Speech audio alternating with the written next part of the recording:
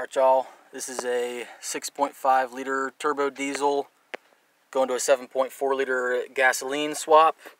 Uh, today I'm going to be showing you how to wire up uh, an AC compressor for a gasoline engine into the diesel wiring harness. Um, so to start off with, you've got a, uh, a fuse down here for the heater slash AC up at the top right there, 25 amp. And when I click the AC button, you can hear the relay cut on. That's the one that's sticking out. Got two brown wires, a light green and a dark blue. So I know that's uh, all working. This video is really going to be for someone who has accidentally lost the wires and needs to refine them. Uh, but if you know where they're at, then that's even better. It'll make it a lot easier for you. Best piece of advice I can give you is to find the schematic for your electrical wiring. So this would be typical 94 or earlier air conditioning and heating system. And the part that I'm going to be focusing on is going to be the AC compressor clutch. And this would be the wiring coming out of it, obviously. Um, you've got the AC compressor clutch relay. That's the one that I was uh, hearing the click when I pushed the AC button. And you've got a AC compressor cycling switch. Now I know this is the correct schematic for me. I'm not sure why there isn't a low pressure switch and high pressure switch on this system.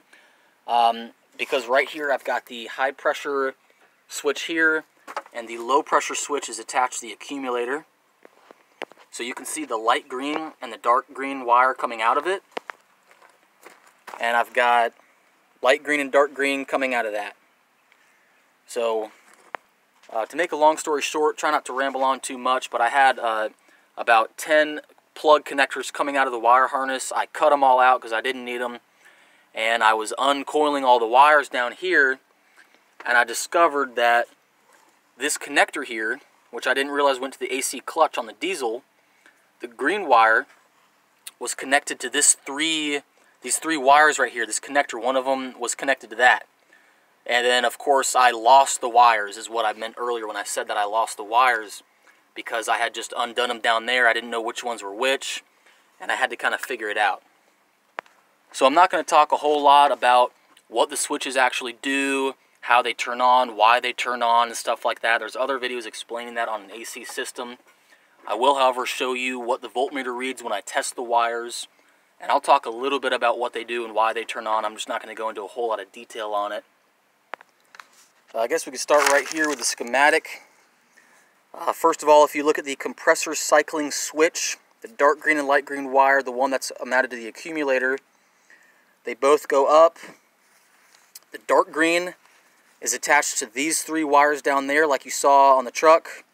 One goes to the AC compressor clutch, and uh, one of them goes over here to the AC controller, the module inside the cabin, and there's a pressure switch. That's what the dark green connects to. If we go over to the AC compressor clutch, the plug for the compressor, you've got two grounds, a diode, uh, two dark green wires connect to each other, and they connect to all of those green wires like I just showed you. And then, of course, you've got brown, brown, dark blue, and light green for the clutch relay. That's the one I showed you a second ago inside the uh, underneath the dash on the passenger side. So I guess we could jump right into it. Hopefully my car isn't too loud in the background. I've got to keep a uh, power running to the battery here. And right now inside the truck, the key is turned and the AC button is clicked. Um, when the AC button is off, you shouldn't get power to any of the switches or plugs or wires or anything like that. No power to it. It should all be off. Um, so you can test that with the voltmeter, positive ground. That's fairly simple how to, uh, how to do something like that. But um, so this here is my AC compressor. These are the two plugs right here for the clutch. Uh, it engages and disengages at uh, when I push the button inside the cabin, when, uh, when the, there's pressure in the system, when everything's hooked up, that'll engage and disengage. And so my plug for it is right here. I've got a green wire and a black wire. One's positive, one's negative. I've got the splice right here. That's not going to be how I uh, how I keep it. I'm going to go back and, and you know make it official, make it all legit and everything. Uh, but this is how I'm going to test it for you. So right now, there's no pressure in the system, which means that the low pressure switch is not engaged right now. It's kind of a, a dry system, if you will. I should be getting no power to the connector, and I could show you. This would be the ground. Show you my voltmeter up there. I've got a ground, and I've got the positive connected, and you see there's no power on the voltmeter uh, whatsoever. So that's working like it should.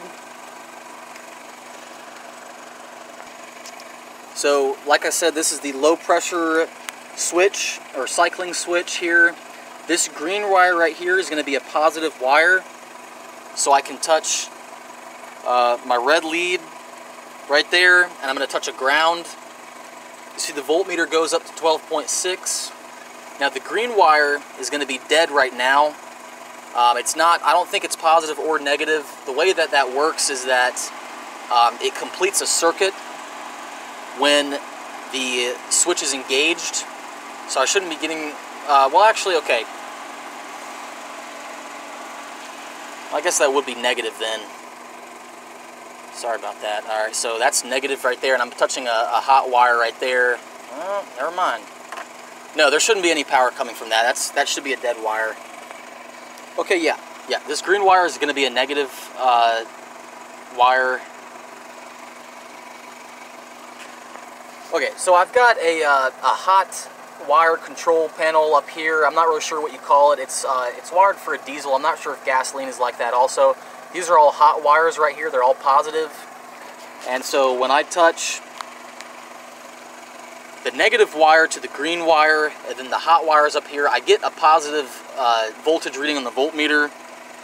Um, I'm not exactly sure why that happens right now because I know that this green wire is positive really, I guess I'd be completing the circuit or something. That's why I'd be reading. I'm not really sure exactly uh, why all that is. Anyways, um, so if I go to the green wire here, and this green wire, I get 12.4. So I'm reading voltage out of that. And then uh, right now this is a, a, a, closed circuit, if you will, or it's, it's kind of dry. There's no pressure in the system. Um, if I go ahead and jump this terminal here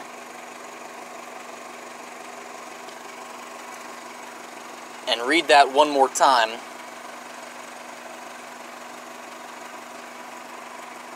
You'll see that I have zero voltage. So that would be, uh, these two wires complete a circuit when the pressure is pushing against it. Like I said, it's a low pressure switch. So if there's no pressure in the system, then you'll be getting voltage. And that will actually cut the AC clutch off. So if I unplug that and test the AC clutch wires down here, I'll get no voltage. Those are for the AC clutch connector. Zero voltage out of that. And that's with the AC button turned on in the cabin. Now if I connect these again and jump the terminal,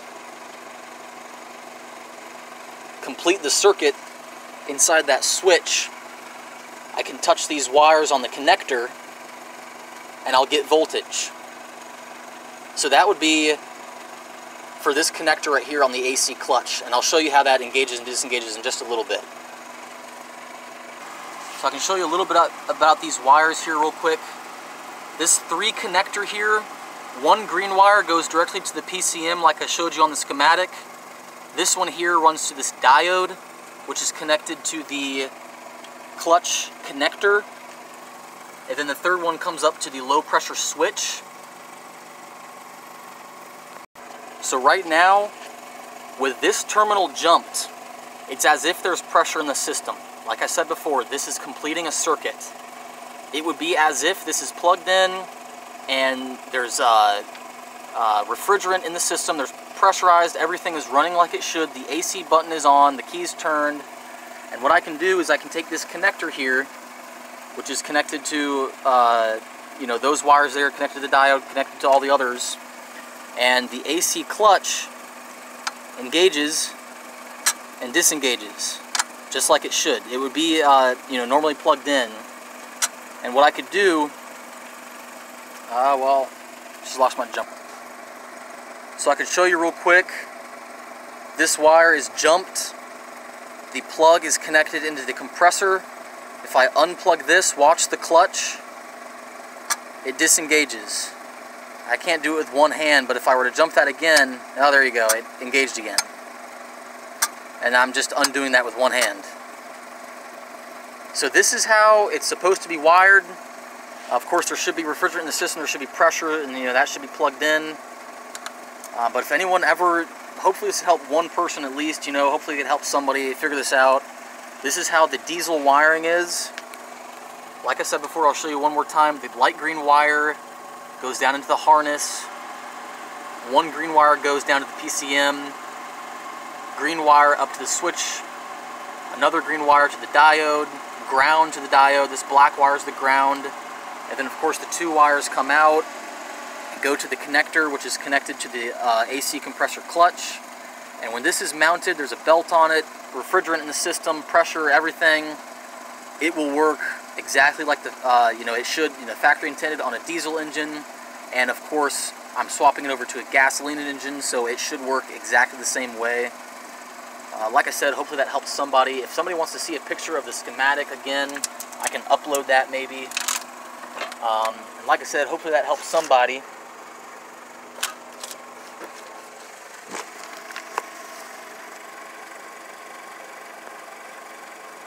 Figure all that out.